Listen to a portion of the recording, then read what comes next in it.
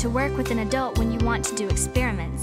And remember that you should never taste anything if you do not know what it is, or mix things together if you do not know what will happen.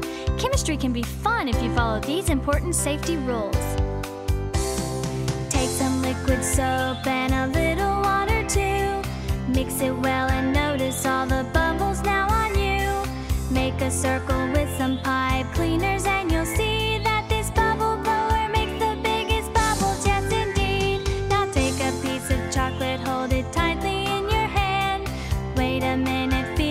melt. This wasn't a good plan. So put it in the freezer. No, the chocolate, not your hand.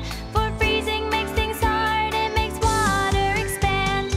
Take a cup of water and add a powdered mix, like lemonade or fruit punch, a drink you will have fixed. But take some water and some oil